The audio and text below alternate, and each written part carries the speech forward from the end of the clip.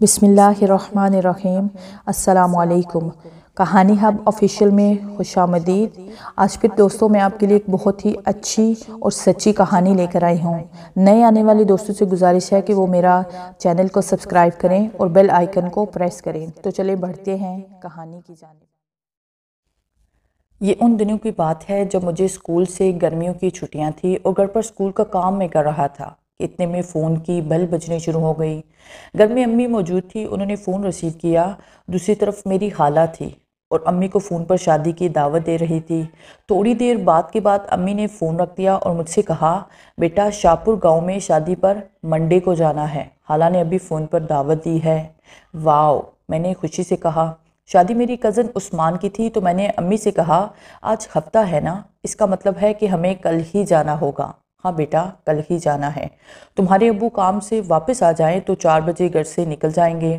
تو میں نے خوشی کے مارے زور سے ایک نعرہ لگایا اور کتابیں بند کر کے شادی کا سامان لینے اور سمیٹنے میں مصروف ہو گیا۔ اتنے میں مدثر بھی آ گیا۔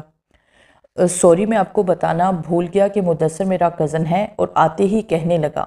شادی پر جانے کی تیاری ہو رہی ہے جناب۔ میں نے کہا ہاں۔ یار، تم بتاؤ، تمہاری تیاری پوری ہوئی یا نہیں؟ یا رات کو کروں گا، ابھی ٹائم بہت ہے۔ اگر تیاری ہو گئی ہو تو چلو بازار چلتے ہیں۔ شادی کے لیے میں نے کچھ چیزیں لینی ہے ہاں چلتے ہیں۔ بس یہ بیگ ذرا الماری میں رکھ دوں۔ میں نے کہا، اور بیگ رکھنے کے بعد میں نے امی سے بازار جانے کی اجازت لی اور مدثر اور میں بازار چل پڑے۔ مدثر نے راستے میں کہا، یار فیصل، اگر میں شادی پر کوٹ اور پینٹ پہنوں تو کیسا لگوں گا؟ میں نے کہا، یار اچھا لگے گا، لے لو۔ قریباً آدھے گھنٹے بعد میں اور مدثر بازار سے واپس آ گئی میں نے آتے ہی امی سے کہا، امی، میری شادی والی کپڑے پلیز استری کر دیں تاکہ صبح کوئی مسئلہ نہ بنے۔ امی نے کہا، ٹھیک ہے، ابھی کر دیتی ہوں۔ باتوں ہی باتوں میں رات کے آٹھ بج گئے۔ ابو بھی گھر واپس آ گئے تھے اور امی نے ابو سے شادی کی بات کی تھی۔ ابو نے کہا، جلدی گھر سے روانہ ہونا پڑے گا۔ دو گھنٹے کا راستہ ہے۔ کیا لطیف بھائی بھی شادی پر جا رہے ہیں؟ میں انہیں فون کر کے اپنے ساتھ لے جانے کو کہتا ہوں۔ اتنے میں میری بڑی بہن رات کا کھانا لے آئی۔ فون کر کے ہم نے کھانا کھایا اور سونے کے لیے اپنے اپنے کمرے میں چلے گئے۔ ابھی میں سونے ہی لگا تھا کہ میرے موبائل پر فون آنے لگا۔ دوسری طرف میری کزن سویرا تھی۔ میں نے یس کا بٹن دبایا اور موبائل کان سے لگا لیا۔ سویرا نے کہا، جناب علی، کیا ہو رہا ہے؟ میں نے کہا، کچھ نہیں، بس سونے کی تیاری ہو رہی ہے۔ تمہارے گھر کل آنا ہے، اس لیے جلدی ہی سونے جا رہا تھا۔ سوری فیصل، میں نے تمہیں فون کر کے پریشان کیا۔ چلو اب میں بند کرتی ہوں، کل تم سے بات کر لوں گی۔ وہ فون بند کرنے لگی تو میں نے کہا، تم نے کوئی بات کرنی تھی؟ بس ویسے ہی فون کیا تھا، بور ہو رہی تھی، تو سوچا کہ تمہیں فون کر دوں۔ کچھ تو بوریت کم ہوگی۔ میں نے کہا، چلو بتاؤ، کھانا کھا لیا ہے؟ ہاں میں نے کھا لیا ہے، چاول پکائے تھے۔ میں نے کہا، میرے حصے کے بھی کھا لینے تھے۔ سویرا نے کہا، اوکے جی آپ کے حصے کے بھی ابھی کھاتی ہوں، اور حکم، اور میں مسکرا دیا۔ وہ بولی، تم نے کل میرون کلر کے کپڑے پہن کر آنا۔ وہ تمہارے اوپر بہت سوٹ کرتے ہیں۔ تمہاری سفید رنگت ہے، اس لیے میں نے کہا۔ جی ٹھیک ہے، میں وہیں پہن کر آؤں گا۔ اچھا اب میں بند کرتی ہوں، باقی باتیں بعد میں ہوں گی۔ میں نے گڈ نائٹ کہا اور فون بند کر دیا۔ سویرا میری کزن تھی اور مجھے پسند کرتی تھی۔ اب میں نیند کے لیے آنکھیں بند کرنے لگا۔ نہ جانے رات کے کون سے پہر میں نے خواب میں دیکھا کہ ایک لڑکی مجھے اپنے ساتھ کسی انجانے راستے پر لے کر جا رہی تھی۔ لڑکی بہت ہی خوبصورت تھی، راستے میں سویرا آ گئی تو اس نے مجھ سے آتے ہی کہا، یہ لڑکی کون ہے؟ لڑکی بہت ہی خوبصورت تھی، اور تم اس کے ساتھ کہاں جا رہے ہو؟ تم دیکھتے ہی دیکھتے لڑکی شکل بدلنے لگی۔ جب میں نے لڑکی کی طرف دیکھا تو بہت ہی ڈر گیا۔ لڑکی لڑکی کی شکل اب بہت ہی خوفناک ہو چکی تھی۔ چہرے پر بال ہی بال تھے، آنگوں کی جگہ سفید انڈے تھے اور ان سے خون نکل رہا تھا۔ دانت دو دو انچ لمبے اور نیچے والے منہ سے باہر آ گئے تھے۔ اور منہ سے خون نکل رہا تھا اور وہ ریچ نما ڈائن کی صورت میں آ چکی تھی اور دیکھتے ہی دیکھتے سویرا کو اس نے مار دیا۔ جیسے ہی وہ میری طرف بڑی تو میں نے ڈرتے ڈرتے زور سے چیخ ماری اور میری آنکھ کھل گئی۔ میں پسینے میں پورا بھیگا ہوا تھا۔ رات کے چار بج رہے تھے۔ قریباً صبح کی اذانیں ہونے والی تھی تو میں اٹھا اور واش روم میں چلا گیا۔ نہا کر نکلا تو صبح کی اذانیں شروع ہو گئی تھی۔ نماز پڑھنے کے لیے میں گھر سے نکل گیا اور راستے میں یہی سوچ رہا تھا کہ بہت ہی ڈرانا خواب تھا جو میں نے دیکھا ہے۔ لیکن وہ لڑکی کون تھی جو ڈائن بن گئی اور اس نے سویرا کو کیوں مارا تھا؟ وہ مجھے مارتی، اس کو اس نے کیوں مارا تھا؟ یہی سوچتے ہوئے میں بے حد پریشان تھا۔ کچھ دیر میں میں مسجد میں جا پہنچا اور نماز ادا کر کے گھر کی طرف چل دیا۔ گھر پہنچا تو امی صبح کا ناشتہ تیار کر رہی تھی۔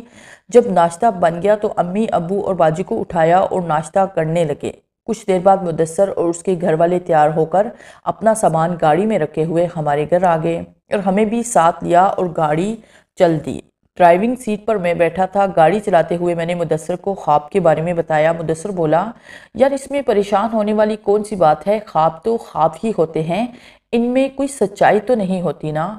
مدثر بھی جانتا تھا کہ سویرا مجھے کتنا پسند کرتی ہے، اس لیے وہ مجھے مطمئن کرنے کی کوشش کر رہا تھا اور میں ساتھ ساتھ گاڑی بھی چلا رہا تھا۔ ایک گھنٹے کا سفر ہم طے کر چکے تھے، لیکن پیچھے سے کوئی آواز نہیں آ رہی تھی۔ میں نے مدثر سے کہا، پیچھے دیکھو کیا بات ہے، سب ہی چپ ہے۔ جب مدثر نے پیچھے دیکھا تو مسکرا دیا اور بولا، سب ہی سوئے ہوئے ہیں۔ اور سچ پوچھو تو مجھے خود بھی نیند آ رہی ہے۔ میں بھی سونے جا رہا ہوں۔ میں نے کہا، اوکے، ٹھیک ہے۔ تم بھی سو جاؤ۔ وہ بھی سو گیا کہ اچانک سویرا کا فون آ گیا۔ کہاں تک پہنچے ہو؟ میں نے کہا، تمہارے قریب آتے جا رہے ہیں۔ ایک گھنٹے میں تمہارے پاس ہوں گے۔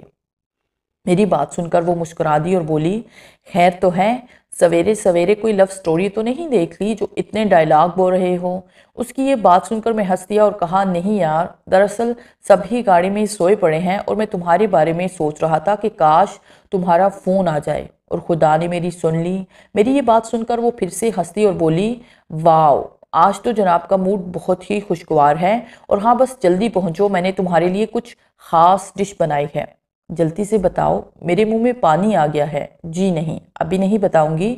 گھر آ جاؤ، پھر خود ہی دیکھ لینا۔ اور دھیان گاڑی پر رکھو، کہیں ایسا نہ ہو کہ میں ہیلو ہیلو ہی کرتی رہ جاؤں۔ اور جناب، اس کی بات سن کر میں ہنس دیا تو وہ بھی مسکرا دی اور بولی، بتاؤ، کون سے کلر کی کپڑے پہن کر آئے ہو؟ میں نے کہا، جو تم نے کہا تھا، وہی پہن کر آیا ہوں۔ ویری گڈ وہ بولی اور فون بند کر دیا۔ تقریباً آدھا گھنٹے کے بعد ہم لوگ شاپور کی حدود میں داخل ہو گئے تھے۔ میں نے خارن بجا بجا کر سب کو جگا دیا تھا اور پھر کچھ ہی دیر میں ہماری گاڑی ان کے گھر کے سامنے جا کر کھڑی ہو گئی۔ سب ہی اترنے لگے۔ جبکہ سویرا بھاگتی ہوئی اور میرے ساتھ فرنٹ سیٹ پر بیٹھ گئی، مجھے بہت ہی اچھا لگ رہا تھا۔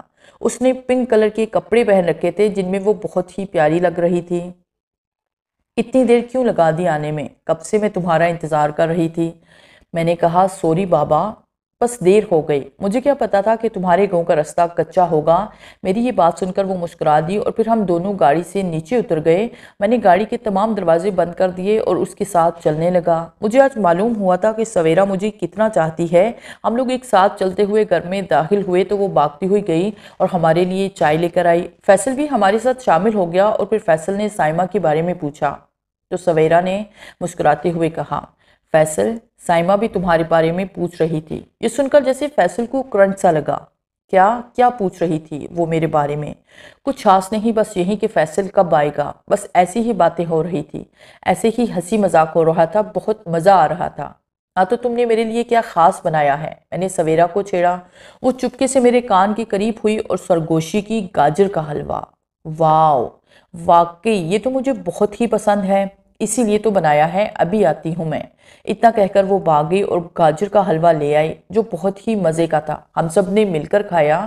میں نے چپ سے کہا، چپکے سے کہا، میری جان، جب تم میری ہو جاؤ گی تو کیا مجھے اپنے ہاتھوں سے گاجر کا حلوہ کھلایا کرو گی نا؟ وہ میرے کان میں بولی جی میرے سرتاج۔ اتنا کہہ کر اس نے ایک کہا لگایا تو سب ہی ہمیں دیکھنے لگے کہ ہمیں کیا ہو گیا ہے اور پھر سب ہی مسکرا دیے۔ باتوں میں اس قدر کوئے ہوئے تھے کہ وقت گزرنے کا پتہ نہ چلا۔ شام ہو گئی، سویرا نے امی سے کہا، امی، مجھے بھی کچھ شاپنگ کرنی ہے۔ ٹھیک ہے، جاؤ، لیکن کس کے ساتھ جاؤ گی مدثر یا فیصل کے ساتھ چلی جاتی ہوں۔ مدثر کا نام اس کے منہ سے سن کر میں نے غصے سے اسے دیکھا اور کہا، میں تو تھک گیا ہوں، میں سونے جا رہا ہوں۔ میرا اتنا کہنا تھا کہ اس کا چہرہ ایسے ہو گیا جیسے نہ جانے اس کو کیا ہو گیا ہو۔ اس کی ماں بولی، ٹھیک ہے۔ بیٹی مدثر کو ساتھ لے جاؤ اور جلدی آنے کی کوشش کرنا۔ وہ جلدی سے بولی، چلو رہنے دو، کل کر لوں گی شاپنگ وہ غصے سے مجھے دیکھ رہی تھی اور ساتھ ساتھ منہ میں کچھ بڑبڑا رہی تھی۔ پھر وہ ناراض ہو گئی اور اس کو منانے میں نہ جانے مجھے کتنا وقت لگا۔ فیصل، میں تم سے بہت پیار کرتی ہوں۔ تم شاید نہیں جانتے، میں تمہارے ہی خواب دیکھتی ہوں۔ اور تم نے کیسے کہہ دیا کہ میں اس کے ساتھ چلی جاؤں؟ میں تو تمہارے ساتھ کچھ تنہائی میں وقت گزارنے کے لیے ایسا کہہ رہی تھی۔ اچھا بابا، سوری، اب ایسا کچھ بھی نہیں کہوں گا۔ چلو، اب بھی چلتے ہیں بازار۔ میں خود خالہ سے کہہ دیتا ہوں، میں نے اس کو راضی کرتے ہوئے کہا تو وہ بولی، یہ ہوئی نا بات۔ اور پھر میں نے خالہ کو کہہ دیا کہ ہم لوگ کچھ شاپنگ کرنے جا رہے ہیں اور جو جو منگوانا ہے ہمیں بتاؤ، ہم لے آئیں گے۔ وہ بولی، نہیں، ہم سب کچھ لے آئے ہیں۔ بس تم لوگ دھیان سے جانا اور جلدی واپس آ جانا، اتنا کہہ کر وہ اپنے کام میں لگ گئی۔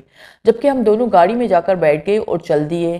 بازار میں پہنچے تو وہاں کافی رشتہ وہ دکان میں شاپنگ کرنے لگی۔ جبکہ میں نے دیکھا کہ ایک لڑکی مجھے دیکھ رہی تھی۔ میں نے نظریں ادھر ادھر کر لی، لیکن جب لیکن جب کچھ دیر بعد دیکھا تو وہ ویسے ہی مجھے دیکھ رہی تھی۔ میں نے اس کو دیکھ کر سوچا کہ میں نے اس لڑکی کو کہیں دیکھا ہے۔ کہاں دیکھا ہے؟ یہ مجھے یاد نہیں آ رہا تھا۔ سویرا آگئی تو میں نے وہاں سے نکلنے کی کی، لیکن سویرا بولی، رکو تو میری فلاں چیز رہ گئی ہے۔ وہ تو میں نے لی نہیں۔ میں نے کہا، جو بھی لینا ہے جلدی لو، بس یہاں سے نکلنے کی کرتے ہیں۔ اچھا اب بھی آتی ہوں۔ اتنا کہہ کر سویرا گاڑی سے اتر کر شاپنگ ہال میں چلی گئی اور وہ لڑکی جو مجھے گہری نظروں سے دیکھ رہی تھی، چلتی ہوئی میری گاڑی کے سامنے آ گئی اور بولی، فیصل، تو مجھے بہت اچھے لگتے ہو اور میں کسی بھی قیمت پر تمہیں کھونا نہیں چاہتی ہوں۔ اس کے منہ سے یہ لفظ سن کر میں گھبرا سا گیا کیونکہ اس نے میرا نام لیا تھا اور میں نے کچھ ہمت پیدا کر کے کہا تم میرا نام کیسے جانتی ہو اور اتنا کچھ کیسے کہہ دیا؟ دیکھو فیصل، یہ سب بات کی باتیں ہیں جو میں بعد میں بتاؤں گی۔ اتنا ہی کہنا ہے کہ تم صرف میرے ہو اور تمہیں مجھ سے کوئی بھی چھین نہیں سکتا۔ اور اگر کوئی بھی لڑکی تمہارے اور میرے درمیان میں آئی تو میں اسے جان سے مار دوں گا۔ اور خاص سنو، میں آج مہندی پر آؤں گی، میرا انتظار کرنا۔ اس کی یہ باتیں سن کر میرا دل گھبرانے لگا۔ وہ اتنا کہہ کر نہ جانے کس طرف نکل گئی، میں دیکھ نہ پایا۔ اور اتنے میں سویرا آ گئی۔ میری خالد دے کر بولی، فیصل، کیا بات ہے؟ تم اتنے کام کیوں رہے ہو؟ تم ٹھیک تو ہو نا؟ وہ وہ تم اتنا لیٹ ہو گئی تھی، اس لیے تمہارے لیے پریشان ہو گیا تھا۔ میں نے بہانہ بنایا۔ لیکن میں تو صرف پانچ منٹ میں واپس آ گئی ہوں۔ اس نے میری طرف دیکھتے ہوئے کہا، بتاؤ کیا بات ہے جو مجھ سے چھپا رہے ہو؟ نہیں، ایسی کوئی بات نہیں ہے۔ آؤ چلیں۔ اتنا کہہ کر میں نے گاڑی چلا دی اور مجھے سب کچھ یاد آ گیا۔ وہ لڑکی کوئی اور نہیں تھی، بلکہ یہ وہی لڑکی تھی جسے میں نے خواب میں دیکھا تھا۔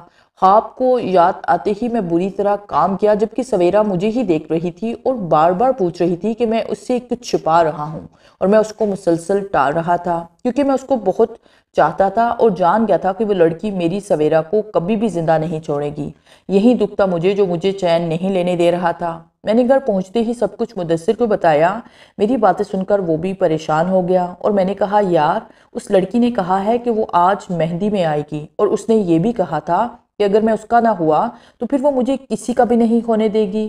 اس لڑکی کا اشارہ سویرا کی طرف تھا، کیونکہ اس نے مجھے سویرا کے ساتھ دیکھ لیا تھا۔ اس کے ساتھ مسکراتے ہوئے دیکھ لیا تھا، وہ میری تمام باتیں سن کر سوچے جا رہا تھا۔ یار، یہ تو بہت پریشانی والی بات ہے، تمہیں یہ سب باتیں گھر والوں کو بتا دینی چاہیے۔ اس نے مشورہ دیا، نہیں یار، میں گھر والوں کو کچھ بھی بتا کر پریشان نہیں کرنا چاہتا ہوں۔ ہمیں اس بات کا کوئی خل خود ہی تلاش کرنا ہوگا، ورنہ وہ لڑکی کچھ بھی کر سکتی ہے۔ یکدم میرے موبائل پر ایک میسیج آیا جب میں نے میسیج پڑھا تو ڈر سا گیا۔ اس پر لکھا تھا، میں کچھ ہی دیر میں تمہارے گھر میں ہوں گی۔ یہ یہ پڑھو۔ میں نے میسیج مدثر کو دکھایا اور کہا، یہ یہ سب کچھ لکھا ہے اور سویرا کی قسم لے لو۔ میں نے اسے نمبر نہیں دیا تھا۔ نہ جانے اس نے میرا نمبر کہاں سے لے لیا۔ میری بات سن کر اور میسیج کو دیکھ کر وہ بھی پریشان ہو گیا۔ وہ لڑکی ایک ڈائن تھی جو شیطانی طاقتوں کی وجہ سے ڈائن سے ایک خوبصورت لڑکی کے روپ میں آئی تھی اور اس کا مقصد فیصل کو اپنی دنیا میں لے جانا تھا۔ اسے فیصل اچھا لگا تھا۔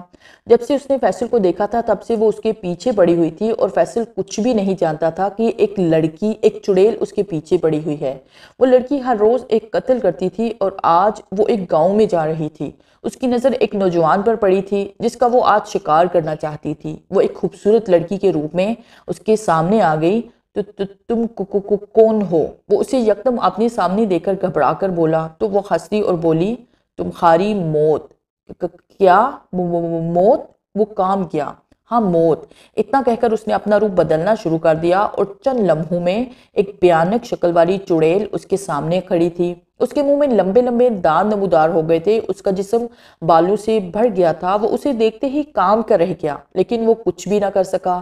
اس چڑیل نے ایک لمحے سے پہلے اس کو دبوچ لیا اور یوں اس کے خون سے اپنے خونی دانتوں کو تڑ کرنے لگی اور اس کا گوشت نوچ نوچ کر کھانے لگی۔ وہ انسان سے ایک ڈانچہ بن گیا۔ اس کی موت سے گاؤں میں مزید خوف پھیل گیا اور پھر اس کے بعد دوسرے دن وہ فیصل کے گاؤں جا پہنچی تھی۔ مہندی کی رسومات شروع ہو چکی تھی، پورے گھر میں رونق لگی ہوئی تھی۔ ڈولک بچ رہی تھی جبکہ چڑیل گھر کے پاس موجود تھی۔ اس کی نظریں دروازے پر جمی ہوئی تھی۔ جب میری نظر اس پر پڑی تو میں گھبرا گیا۔ میں نے فوراً مدثر سے کہا، مدثر مدثر وہ آ گئی ہے۔ میں نے باہر دروازے کی طرف اشارہ کرتے ہوئے کہا۔ جب اس نے دروازے کی طرف دیکھا تو اسے دیکھ کر حیران ہو گیا۔ اتنی خوبصورت لڑکی دروازے کے سامنے کھڑی تھی۔ سویرا اس کی طرف باغی شائستہ تم آ گئی، بہت دیر کر دی تم نے آنے میں۔ یہ سن کر وہ دونوں حیران رہ گئے کہ سویرا اسے جانتی ہے اور یہ تو اس کی دوست نکلی ہے۔ وہ شائستہ کو لیے اپنے ہم دونوں کے پاس آئی اور بولی، یہ میری دوست شائستہ ہے، ہم دونوں نے اس کو سلام کیا، لیکن میرا دل کانپ رہا تھا۔ وہ سویرا کو لیے ایک طرف ہوئی۔ اس کے کان میں کہا، سویرا، یہ فیصل وہ لڑکا تو نہیں جسے تم بچپن سے چاہتی ہو۔ ہاں یہ وہی فیصل ہے، سویرا نے کہا۔ اور اب تم نے اور اور اب تو ہم دونوں نے اظہار محبت کر لیا ہے۔ ویسے یار، فیصل ہے بہت خوبصورت۔ ہاں خوبصورت کیوں نہ ہو کزن کس کا ہے؟ ہاں یہ بات تو ہے، ہماری سویرا کسی سے کم نہیں۔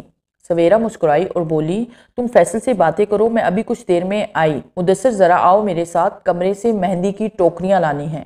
نہیں، آپ فیصل کو ساتھ لے جائیں میں آپ کی دو سے باتیں کرتا ہوں۔ مدثر نے کہا، تو وہ دونوں ایک ساتھ چل دیے اور مدثر شائستہ سے باتیں کرنے لگا۔ جی آپ کہاں رہتی ہیں اور کیا کرتی ہیں؟ مدثر نے پوچھا۔ میں اسی شہر میں رہتی ہوں اور ایک بینک میں ملازمت کرتی ہوں، اور آپ کیا کرتے ہیں؟ میں پڑھتا ہوں۔ ویسے آپ اگر کسی کو خوفزدہ کرنا چاہیں تو ایک منٹ میں کر دیتی ہیں۔ مدثر نے کہا، تو وہ مسکرا دی اور بولی، آپ تو کافی عقل مند ہو اور بہت گہری باتیں کرتے ہو، آپ سے تو دوستی کرنی پڑے گی۔ جی کیوں نہیں؟ مدثر نے مسکراتے ہوئے کہا، وہ دونوں باتیں کرتے رہے اور میں اس کی باتیں سنتا رہا، پھر وہ چل کر میرے پاس آ گئی اور مجھے گہری نظروں سے دیکھتے ہوئے بولی، دیکھو فیصل، سویرا نے تمہارے بارے میں بہت کچھ کہا ہے، لگتا ہے وہ تمہیں بہت پسند کرتی ہے۔ میں تو چاہ رہی تھی کہ ابھی اسے مار ڈالوں، لیکن ہے چھوڑو، تم سناؤ، بہت سویٹ لگ رہے ہو۔ یہ سوٹ تم پر بہت جچ رہا ہے، کیوں میرا شکریہ ادا نہیں کرو گے؟ میں نے اتنی تعریف کی ہے تمہاری۔ جی بہت شکریہ۔ میں نے ڈرتے ہوئے کہا، وہ مسکرا دی اور بولی، تم جانتے ہو کہ میں کیا کچھ کر سکتی ہوں؟ اگر تمہیں یقین نہیں ہے تو دیکھو، میں ایک کرشمہ دکھاتی ہوں۔ اتنا کہہ کر اس نے سامنے بنے ہوئے سٹیج کی طرف ہاتھ کا اشارہ کیا تو وہ ایک لمحے میں ہی ٹوٹ کر گر گیا۔ میں یہ منظر دیکھ کر کام کر رہ گیا۔ وہ بولی دیکھا فیصل، میں بہت کچھ کر سکتی ہوں۔ اور سویرا کو مارنا میرے لیے کوئی مشکل کام نہیں ہے۔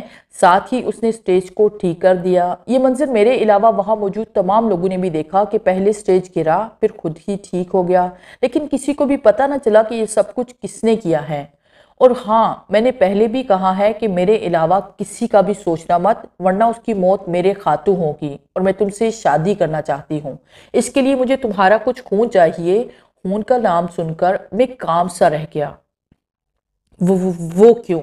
میرے شہزادے ڈرو مت۔ میں تمہیں مارنا نہیں چاہتی ہوں مجھے تمہارے خون کی اشد ضرورت ہے۔ میں نے اس پر کوئی عمل کرنا ہے اور یہ خون تم کو دینا ہی ہوگا ورنہ تم جانتی ہو کہ میں کچھ بھی کر سکتی ہوں۔ اتنا کہہ کر اس نے اپنے خونٹ میری گردن پر لگا دیے اور میں نے انکار بھی نہ کیا کیونکہ میں جانتا تھا کہ اگر میں نے انکار کر دیا تو وہ غصے میں میرے خون کے ساتھ ساتھ میری جان بھی لے سکتی ہے۔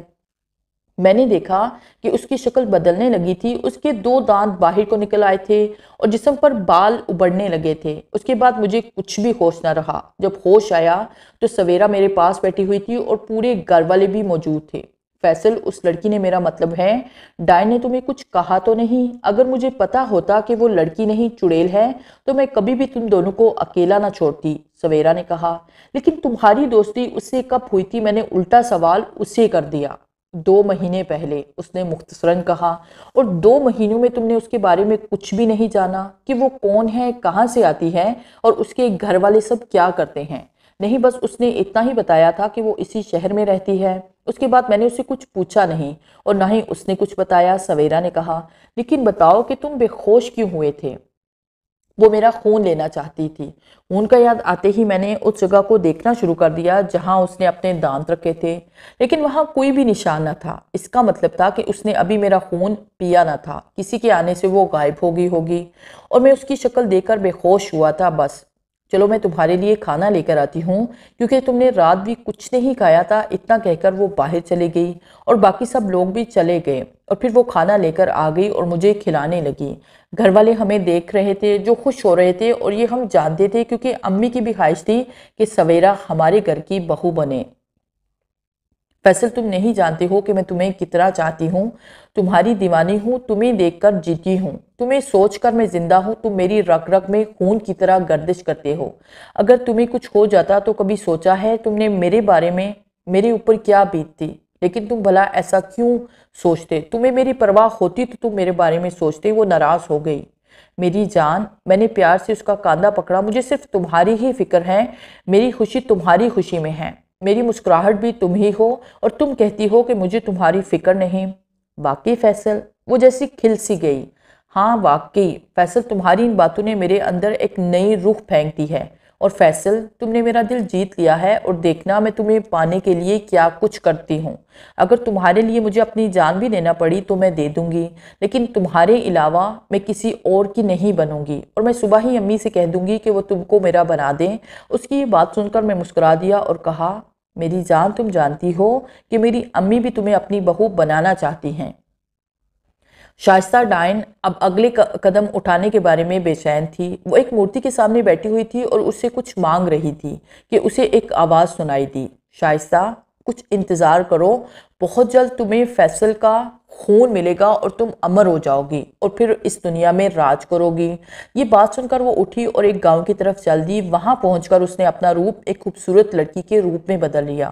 وہ چلتے ہوئے ایک گھر میں جا گسی جہاں ایک نوجوان بیٹھا ہوا تھا۔ اچانک ایک لڑکی کو اپنے کمرے میں دیکھ کر وہ کام کر رہ گیا، لیکن اس حسینہ کے لبوں پر بکری مسکراہٹ دیکھ کر اس کا خوف جاتا رہا۔ وہ اس کے قریب ہوتی چلی گئی اور اس کو یوں لگا کہ جیسے وہ اس سے پیار کرنا چاہتی ہے۔ اس نے اپنی آنکھیں بند کر لی، لیکن جب اس کے دل پر اس نے اپنے تیز ناخن گسائے تو اس کی چیخ نکل گئی۔ لیکن ڈائن نے اس کے منہ پر ہاتھ رکھ کر اس کی چیخ کو روک لیا۔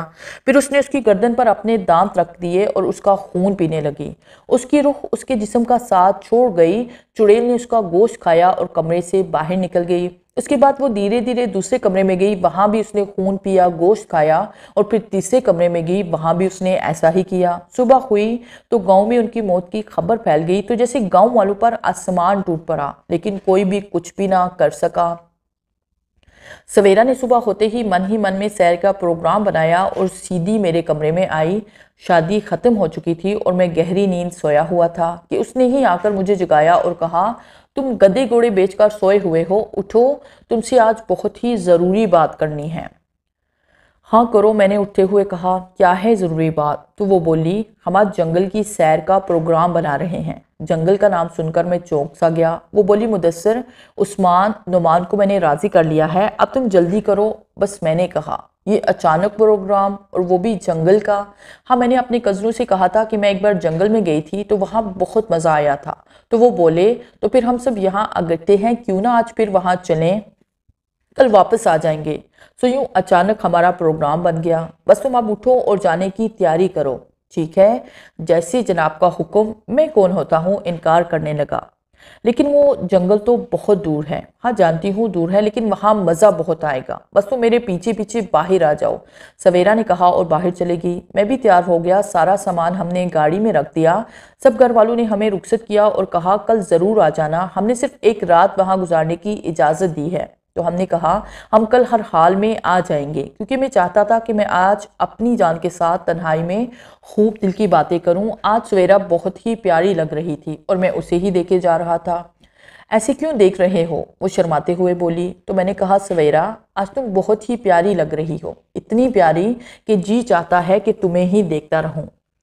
ارے لیلا مجنو اب گاڑی میں بیٹھو، باقی باتیں گاڑی میں کر لینا۔ مدثر نے کہا، تو ہم دونوں ہنس دیے اور سویرا نے ایک لاکٹ اپنے پر سے نکالا اور بولی، فیصل میرے قریب آؤ، میں تمہیں یہ لاکٹ پہنا دوں۔ اس میں تمہاری زندگی محفوظ ہے، تمہیں کچھ بھی نہیں ہوگا۔ اتنا کہہ کر سویرا نے ایک لاکٹ میرے گلے میں ڈال دیا۔ میں نے کہا، یہ کیا ہے؟ تو وہ بولی، فیصل، میں تمہیں کھونا نہیں چاہتی، بس چاہتی ہوں کہ تم ہمیشہ میرے قریب رہو۔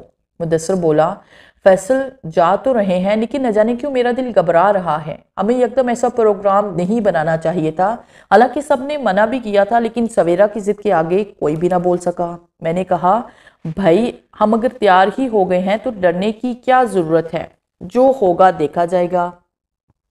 اور پھر تم اکیلے تو نہیں ہو، ہم سب تمہارے ساتھ ہیں۔ ہماری گاڑی رواں دوا تھی اور سویرا شاید آج اپنا تمام پیار مجھ پر نچھاور کر دینا چاہتی تھی۔ وہ بار بار میری طرف دیکھ رہی تھی اور ہم جنگل کے قریب پہنچنے والے تھے۔ موسم بھی خراب تھا، پورے آسمان پر بادل چھائے ہوئے تھے۔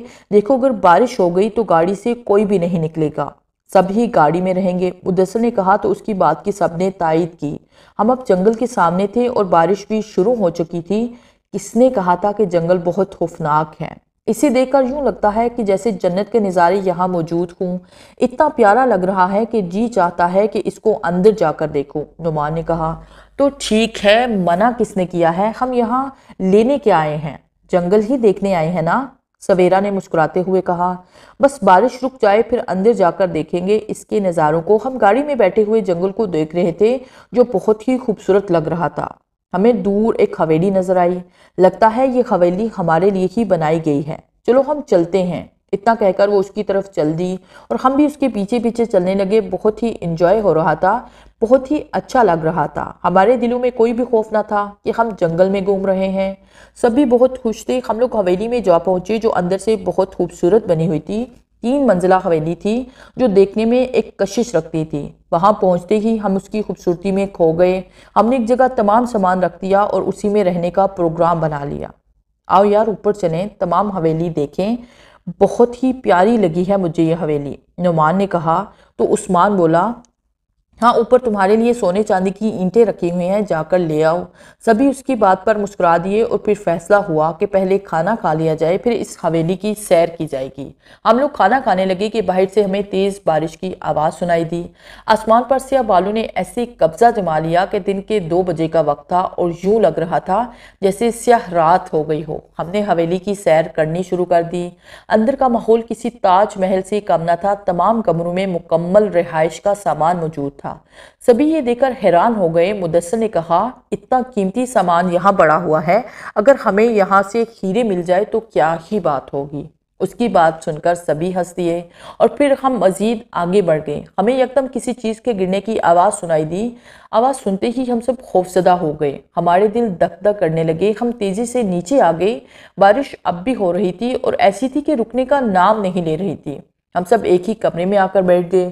ہمارا دھیان کمرے میں گرنے والی چیز کی طرف تھا کہ وہ کیا چیز تھی جو گری تھی، جس کی آواز سب نے سنی تھی، لیکن وہ دکھائی نہیں دی تھی۔ ابھی ہم باتیں کر رہے تھے کہ ہمیں یوں لگا جیسے کوئی سیڑھیاں اتر رہا ہو۔ ہم آواز سن کر مزید خوفزدہ ہو گئے۔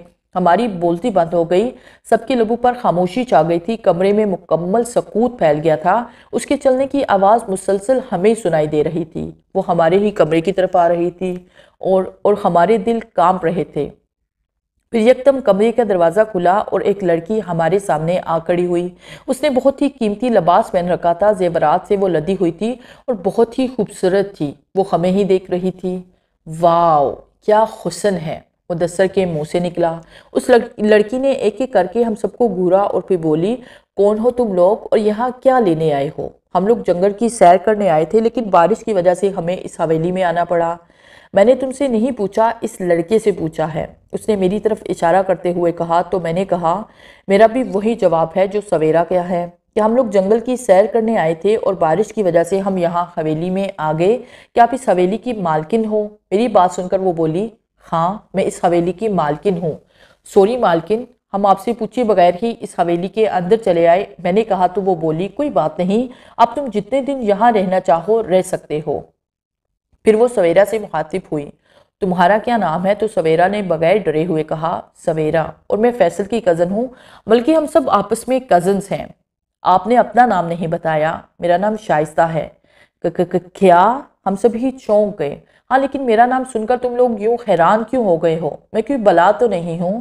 لیکن ہم سب خوفزدہ ہو چکے تھے کیونکہ شائستہ نام کی لڑکی جو ہمارے سامنے شادی میں آئی تھی، وہ ہمیں یاد آ گئی۔ میں نے کہا، نہیں نہیں، ایسی تو کوئی بات نہیں۔ اصل میں ہماری ایک کزن کا نام بھی شائستہ تھا، بس اس کی یاد آ گئی۔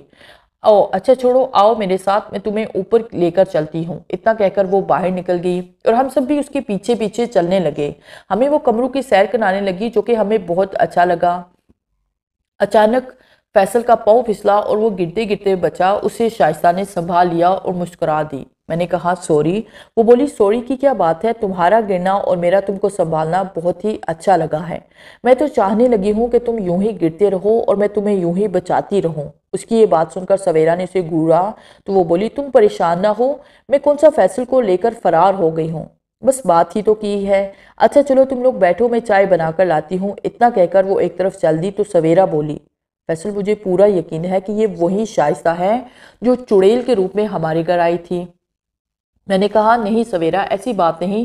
تم جانتی ہو کہ میرے گھرے میں تعویز ہے، اگر وہ چڑیل ہوتی تو مجھ سے جب ٹکرائی تھی تو وہ غائب ہو جاتی۔ ہاں تمہاری یہ بات ٹھیک ہے، مدثر نے تائید کی۔ ابھی ہم لوگ ایسی ہی باتیں کر رہے تھے کہ وہ چائے لیے کمرے میں داخل ہوئی اور چائے رکھتے ہوئے بولی، لو بھائی، چائے پیو اور سیر کرو، کیونکہ بارش رک چکی ہے۔ ہم کوشش کر رہے تھے کہ جلدی جلدی چائے پی جائے اور اپنا سنبھال، سامان سنبھال کر یہاں سے نکل پڑے۔ اچھا تو تم لوگوں نے اپنے بارے میں کچھ بھی نہیں بتایا کہ آپ کیا کچھ کرتے ہیں۔ ہم سب نے کہا، ہم سب ہی پڑھتے ہیں اور میں نے کہا، میں نوکری کی تلاش میں ہوں۔ لیکن ایک بات ہے آپ نے چائے بہت اچھی بنائی ہے، بہت ہی مزہ آیا ہے۔ آپ کی چائے پینے کا میری بات سن کر وہ مسکرائی اور بولی، اگر کہو تو اور بنا کر لے آؤں۔ نہیں نہیں، بس میں نے کہا۔ تو بس ہم لوگ چلتے ہیں۔ وہ بولی، ٹھیک ہے، میں تمہیں روکوں گی نہیں۔ ہم لوگ چل دیے کہ یکتم عثمان اور نوان گر گئے اور گرتے ہی بے خوش ہو گئے۔ ہم حیران رہ گئے کہ ان کو کیا ہو گیا؟ شائستہ نے یہ سب دیکھا تو جلدی سے پانی لے آئی اور بولی ان کو کیا ہوا تھا؟ یہ کیوں گرے تھے؟ سویرا نے کہا، پتہ نہیں لگتا ہے کہ سیڑھیوں سے اترتے ہوئے پاؤں پھسل گیا تھا۔ میں نے مدثر سے کہا، مدثر تم جلدی سے جاؤ اور گاڑی کو سٹارٹ کر کے یہی لے آؤ۔ ہم ان کو اٹھا کر لے جاتے ہیں۔ وہ بولا، ٹھیک ہے، میں ابھی جاتا ہوں۔ اتنا کہہ کر وہ باہر نکلا ہی تھا کہ پھسل گیا اور گرتے ہی وہ بھی بے ہوش ہو گیا۔ یہ اسے کیا ہو گیا ہے؟ سویرا نے پریشان ہوتے ہوئے کہا، مجھے تو کچھ بھی سمجھ نہیں آ رہی کہ یہاں ایسا کیوں ہو رہا ہے۔ وہ مسلسل پریشان ہو رہی تھی اور میری بھی حالت ایسی تھی، میں بھی ان کے یوں گر کر بے ہوش ہونے کی وجہ سے پریشان ہو رہا تھا۔ سویرا نے مجھے دیکھا اور کہا، فیصل، تم عثمان کو پہلے اٹھاؤ اور گاڑی میں بٹھا کر آؤ، تب تک میں ان کے پاس رہتی ہوں۔ میں نے کہا، ٹھیک ہے۔ میں ابھی گیا اور ابھی آیا۔ اتنا کہہ کر میں عثمان کو اٹھا کر باہر نکل گئی اور گاڑی تک جا پہنچی۔ اس کو گاڑی میں بٹھایا اور پھر تیزی سے چلتا چلتا ہوا واپس آیا، نعمان کو اٹھایا، اور سویرا سویرا تو میرے ساتھ چلو۔ شائستہ بولی ہاں میں اتنی دیر میں مدثر کو ہوش میں لانے کی کوشش کرتی ہوں۔ میں نے کہا، ٹھیک ہے، میں ابھی واپس آتا ہوں۔ اتنا کہہ کر میں سویرا کے ساتھ حویلی سے باہر نکل آیا۔ سویرا نے گاڑی کا دروازہ کھولا تو میں نے نعمان کو گاڑی کے اندر لٹا دیا اور سویرا سے کہا، تم ان کے پاس ہی بیٹھو، میں مدثر کو اٹھا کر لاتا ہوں۔ کوشش کرو کہ ان کو ہوش آ جائے، وہ بولی۔ ٹھیک ہے جلدی آنا مجھے بہت خوف آ رہا ہے۔ میں نے کہا، ڈرنے کی کوئی بات نہیں، تم ہمت سے کام لو میں ابھی واپس آ جاتا ہوں۔ اتنا کہہ کر میں حویلی کی طرف چل دیا۔ ابھی میں حویلی کے باہر ہی تھا کہ مجھے مدثر کے چیخنے کی آواز سنائی دی۔ آواز سن کر میں کام سا گیا اور حویلی کی طرف دوڑ لگا دی۔ جب میں حویلی کے اندر داخل ہوا تو سامنے کا منظر دیکھ کر میرے خوش ہی اڑ گئے۔ اندر کا منظر بالکل ہی بدل چکا تھا۔ وہ اب شاندار اور پرکشش حویلی نہ رہی تھی، بلکہ ایک بسیدہ مکان تھا اور وہ لڑکی جو بہت ہی خوبصورت تھی، وہ ریچ کی طرح لگ رہی تھی اور مدثر کا خون پینے میں مصروف تھی۔ اسے دیکھ کر میری چیخ نکل گئی، تو وہ مدثر کو چھوڑ کر میری طرف متوجہ ہی اور بولی، آؤ فیصل، آؤ، مجھے پتا تھا کہ تم ضرور آؤ گے۔ اب تمہیں لے کر ہمیشہ کے لیے اپنی دنیا میں چلی جاؤں گی اور تم سے شادی کر لوں گی۔ اتنا کہہ کر وہ کہہ کہے لگا کر ہنسنے لگی۔ شاید مدثر کے چیہنے کی آوازیں سویرا نے بھی سننی تھی، وہ بھی باگتی ہوئی خویلی میں آ گئی تھی۔ شائستہ نے اسے دیکھ لیا تو وہ مسکرا دی اور بولی، سویرا، اب تم فیصل کو نہیں بچا سکتی کیونکہ میں یہاں فیصل کے لیے آئی تھی اور اب میں اس کو لے کر ہمیشہ کے لیے اپنی دنیا میں چلی جاؤں گی۔ میں تمہیں ایسا نہیں کرنے دوں گی اور نہ ہی تمہیں ایسا اور نہ ہی تم ایسا کر سکو گی۔ سویرا نے ہمت سے کہا اور میں مدثر کی طرف بڑھ گیا جو بہت زخمی ہو چکا تھا۔ میں نے کہا، مدثر تم ٹھیک تو ہو نا؟ وہ بولا، یار، تم میری چھوڑو، بس کسی طرح سویرا کو لے کر یہاں سے نکل جاؤ، ورنہ یہ چڑیل کسی کو بھی معاف نہیں کرے گی۔ میں سویرا کی طرف بڑھا تو شائستہ نے مجھے دیکھ لیا اور مجھ سے مخاطب ہوئی، فیصل، تم سویرا سے کہہ دو کہ وہ مجھے نہ روکے، کیونکہ تم میرے ہو، صرف میرے۔ اور اسے کہو کہ تمہارا پیچھا جوڑ دے۔ اگر اس نے یہ سب نہ کہا تو میں اس کو مار ڈالوں گی، لیکن اسے مارنے سے پہلے میں تمہیں مار ڈالوں گی۔ سویرا نے جب مجھے مارنے والی بات سنی تو بولی، فیصل، تم یہاں سے باغ جو میں نے کہا، نہیں سویرا، نہیں، میں تمہیں یوں اکیلا چھوڑ کر نہیں جا سکتا ہوں۔ تم میرا پیار ہو، میری چاہت ہو، میرا سب کچھ ہو۔ اور پھر میں نے شائستہ سے کہا، تم جو بھی کرنا چاہو کر لو، میں کبھی بھی سویرا کو نہیں چھوڑ سکتا اور تم سے کبھی بھی شادی نہیں کروں گا۔ اگر تم نے اگر تم نے میری سویرا کو چھینا تو میں تمہارے خاتھ بھی نہیں آؤں گا۔ میں ایسا کر کے رہوں گا۔ ٹھیک ہے، اگر تم میرے نہیں تو پھر کسی کے بھی نہیں ہو سکتے۔ کسی کو بھی زندہ نہیں چھوڑوں گی۔ اتنا کہہ کر وہ میری طرف بڑھنے لگی۔ جب سویرا نے اسے میری طرف بڑھتا ہوا دیکھا تو درمیان میں آ گئی اور بولی، پہلے مجھے مارو، اس کے بعد اس کو مارنا۔ میرے ہوتے ہوئے تم کبھی بھی اس کو نہیں مار سکتی۔ سویرا کی یہ بات سن کر وہ خونخار ہو گئی اور اپنے تیزدار ناخنوں سے سویرا پر وار کر دیا، جس سے وہ شدید زخمی ہو گئی۔ سویرا کے منہ سے ایک چیخ بلند ہوئی اور وہ نیچے گر گئی۔ مجھ سے سویرا کی یہ حالت دیکھی نہ گئی تو میں نے وہاں موجود ایک خنجر پکڑ لیا اور شائستہ کی طرف پڑھنے لگا اور سیدھا وار اس کے سینے پر کر دیا۔ میرے ایک ہی وار سے وہ لڑک گئی، اس کے منہ سے چیخ بلند ہوئی، پھر وہ سبل گئی اور بولی، تم نے مجھ پر وار کیا ہے، تمہاری یہ ہمت، اب میں کسی کو بھی معاف نہیں کروں گی، اتنا کہہ کر وہ ایک دم سویرا پر جپٹی اور اس کا پیٹ چاک کر دیا۔ خون کا فوارہ اس کے پیٹ سے ابل پڑا تو وہ تڑپنے لگی۔ شائستہ بولی، میں نے تم سے کہا تھا نا کہ اگر تم میرے اور فیصل کے درمیان آئی تو میں تمہیں زندہ نہیں چھوڑوں گی۔ سویرا میرے سامنے تڑپ رہی تھی اور یہ سب مجھ سے برداشت نہیں ہو رہا تھا۔ میں پاگلوں کی طرح اس کی طرف بڑھا۔ سویرا میری جان تمہیں کچھ بھی نہیں ہوگا، میں تمہیں کچھ نہیں ہونے دوں گا۔ اگر تمہیں کچھ ہو گیا تو میں بھی زندہ نہیں بچوں گا۔ نہیں فیصل، تم بھاگ جاؤ، تم میری فکر نہ کرو، تم اپنی جان بچاؤ۔ نہیں سویرا، میں تمہیں چھوڑ کر نہیں جا سکتا۔ جاؤ، پلیز جاؤ، وہ مشکل سے بولی۔ لیکن دوسرے ہی لمحے وہ ایک طرف لڑک گئی اور اس کا مردہ جسم میرے ہاتھوں میں جھول گیا، میں تڑپ سا گیا۔ اور رو دیا۔ شائستہ نے میرے بال مجھے بالوں سے پکڑ لیا اور پھر یکدم وہ پیچھے ہٹ گئی۔ میں نے اپنے گلے سے تعویز اتار کر اس پر پھینک دیا۔ وہ تڑپ سی گئی، اس کے منہ سے چیخیں نکلنے لگی اور پھر دیکھتے ہی دیکھتے آگ نے اس کو اپنی لپیٹ میں لے لیا۔ میری سویرا اور مدثر اس حویلی میں دب گئے تھے۔ میں پاگلوں کی طرح رو رہا تھا اور باغتا ہوا گاڑی کے پاس گیا کہ نمان اور عثمان کا پتہ کروں۔ لیکن ان کو دیکھ کر میں بالکل ہی ڈیسا گیا۔ وہ بھی مردہ حالت میں بڑے ہوئے تھے۔ نہ جانے اس چائے میں اس نے کیا ملایا تھا کہ کوئی بھی زندہ نہ بچ سکا۔ صرف میری چائے اس نے خاص کر بنائی تھی۔ کیونکہ وہ مجھے اپنے ساتھ لے جانا چاہتی تھی، ورنہ شاید میں بھی زندہ نہ بچ پاتا۔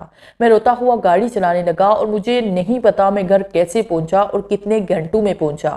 لیکن پہنچ گیا۔ جاتے ہی میں خالہ سے لپٹ گیا اور روتے ہوئے کہا، خالہ سویرا ہمیں چھوڑ کر چلی گئی۔ مدثر بھی نہیں رہا۔ میرا اتنا کہنا تھا کہ گھر میں جیسے قیامت آ گئی تھی۔ ہر طرف کوہرام مچ گیا، ہر طرف رونا دونا تھا، ہر آنکھ اشک بار تھی، لیکن اب رونے کے علاوہ کیا بھی کیا جا سکتا تھا۔ پھر ہم لوگ اپنے اپنے گھر آگئے، لیکن میں بھلا اپنے دوست، اپنے کزن مدثر کو کیسے بھول سکتا تھا؟ اور اپنی جان سویرا کو کیسے بھول سکتا تھا؟ وہ تو میری زندگی تھی، میری جان تھی، میرا سب کچھ تھی، مجھے بچاتے ہوئے اس نے اپنی جان دے دی۔ اس نے سچ ہی کہا تھا کہ فیصل، تم سے میں اتنا پیار کرتی ہوں کہ اگر تمہاری وجہ سے مجھے اپنی جان بھی دینا پڑی تو میں دے دوں گی۔ لیکن تمہیں کچھ بھی نہیں ہونے دوں گی۔ اس نے جو کہا تھا، کر دکھایا تھا اور میرے پاس اب اس کی یادوں کے سوا کچھ بھی نہیں ہے۔ وہ آج بھی میرے دل میں ایسے ہی زندہ ہے جیسے وہ ہوا کرتی تھی۔ آج بھی مجھے ایسے لگتا ہے کہ جیسے وہ ابھی کہیں سے آ جائے گی اور کہے گی، فیصل، دیکھو میں آ گئی ہوں تمہارے پاس ہمیشہ کے لیے۔